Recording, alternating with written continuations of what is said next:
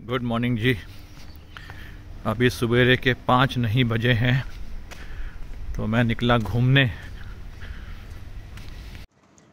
तो अभी क्योंकि तो पाँच नहीं बजे, मैंने अभी आपको दिखाया कि कितना कोहरा गिर रहा है यहाँ पे। कोहरा जो है इतना चमक रहा है, मैं आपको बता नहीं सकता। देखिए, फिर से दिखाता हूँ आपको, कोहरा गिर रहा है इसमें लगता ही नहीं कि मई का महीना है। ये देखिए, सामने कितना कोहरा गिर रहा है। और ऐसे लग रहा है जैसे नवंबर, दिसंबर का महीना है। वैसे तो मैं मोबाइल लेके चलता नहीं हूँ, सवेरे मॉर्निंग वॉक पे। लेकिन आज मैंने देखा कोहरा इतना है तो मैंने कहा, चलो मैं बताऊँगा तो आप शायद ना मानो। ये देखिए कितना कोहरा है। मेरे बताने पे शायद आपको ना लगे, लेकिन दिखाऊँगा तो मालूम पड़ेगा कितना कोहरा गिर रहा है। ये देखिए। ये आपको समझ में आ रहा कोहरा? ये देखिए। ये देखिए लाइट वे दिखाता हूँ तो तुम्हें मालूम पड़ता है कितना कोहरा है। देखिए, कोहरा कितना है। देख रहे हैं आप? ये पूरा। ये देखिए, कितना कोहरा गिर रहा है। ये हमारा मंदिर है। कोहरे के साथ साथ ठंड भी लग रही है। है ना? ऐसा लग रहा है जैसे कि नवंबर, दिसंबर का महीना है और ठंड बड़ी लग रही है। हवा चल रही है तो ठंड लग रही है। मन कर रहा है कि स्वेटर पहन लें अगर तो अच्छा ही हो तो ये है कहानी अब इस मौसम की कि मई के महीने में ये हाल हो रहा है। ठंड लग रही इस समय। तो मैंने कहा आपसे गुड मॉर्निंग कर लूँ और आपको दिखाऊँ कि मौसम का क्या हाल है सवेरे सवेरे पौने पाँच बजे। ये है हालात कोहरे के। अब बढ़ गया।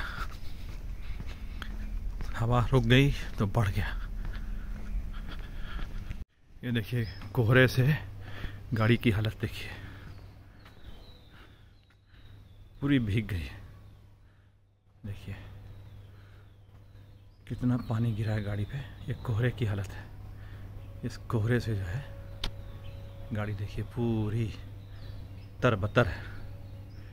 ये देखिए, इतना कोहरा गिरा है देख रहे हैं आप कितना कोहरा गिरा है गाड़ी पे देखिए। ये है आज सवेरे का हाल। सवेरे के बज रहे हैं पौने छः वॉक मेरा हो गया है पूरा। अब मैं आपको दिखाता हूँ धुंध कोहरा जो है वो पार्क में कैसे दिख रहा है इस समय। ये देखिए पार्क में कोहरा कैसे है देखिए। देख रहे हैं वहाँ कुत्ता बैठा दिख नहीं रहा है।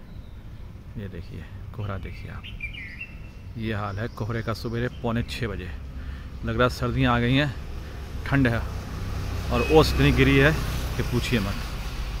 तो good morning again once again to all of you और आप लोग सब पसंद रहें, खुश रहें। आ, गाय को रोटी देने आए हैं, लेकिन गाय तो आ नहीं रही है। इतना कीचड़ पीचड़ है यहाँ पे। यहाँ पे एक बैल है।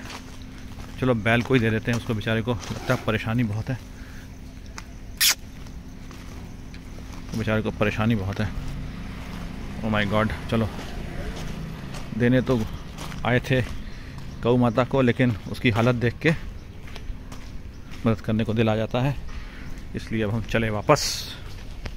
पौने छः बजे हमारी सोसाइटियों के बाहर रोड का ये हाल है। कोहरा देख लीजिए आप, कैसा है। तगड़ा अभी भी है, पौने छः बजे। देखिए कैसे सड़क भीगी हुई है। Is all mist and snow पत्तों से पानी गिर रहा है टपा टप और पूरी सड़क गिरी है, देखिए।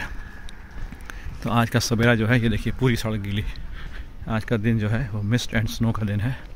पूरा wet full wet full wet आ गए हम अपने घर में वापस। पाँच पचास हो रहे हैं। और ये है हमारे घर के बाहर का हाल। हमारी बालकनियाँ जो है तोड़ तोड़ के रिपेयर की जा रही हैं। सबसे ऊपर वाली टूट गई, दूसरी टूट गई, तीसरी तोड़ दी गई है तोड़ी है। अब इसकी बारी लगता है मेरे को है। तो अभी इधर का काम हो रहा है। उसके बाद इनको फिर डेवलप किया जाएगा। तो ये आजकल गंद मचा हुआ है हमारे यहाँ। देखिए आप, है ना, ये नीचे का है। हालाँकि अभी हमारा साइड शुरू नहीं किया है। हमारा साइड दूसरा है, ये वाला है हमारा साइड अभी इधर थोड़ा थोड़ी शुरू करनी है। तो फिर अब हम आ गए हैं अपने घर पे। तो छः बजने में दस मिनट बाकी हैं और हम वॉक करके वापस आ गए हैं अपने घर। जो देखें, बेबी सिंह जी आज घूमने नहीं गई हैं, आज वो मस्ती में हैं। वो आज जो है, मस्ती में है आज। आज वो गई नहीं घूमने, ये देखिए। आज छुट्टी मार दी है, आज ये आराम कर रही हैं। इन्होंने कहा, आज हमारी छुट्टी, आज ठंड बहुत है, कोहरा गिरा है, पूरा, बरस तो लो जी, हमारी चाय बना दी हमने। बिस्कुट हम खाएँगे, कौन से वाले? ये हमारे बिस्कुट हमने बना कर निकाल के रख दिए हैं, फ़र्स्ट क्लास। सो कहते हैं, गुड मॉर्निंग वंस अगेन। और हमारी चाय बन गई है। आपको हम दिखाते हैं। ये देखिए, हमारी चाय पड़ी है। और ये हमारी बेबी सिंह, शॉल वॉल लेके बैठी है। ये देखिए गुड मॉर्निंग कर रही हैं आपसे।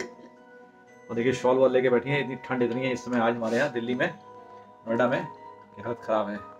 सो अगला व्लॉग आपको अब दिखाते रहेंगे। आज हम दिन भर में क्या कार्य चर्चा हो रही है हमारी। तो बिस्कुट हमारे मस्त हैं, बिल्कुल आटे वाले, टकाटक। तो फिर very good morning once again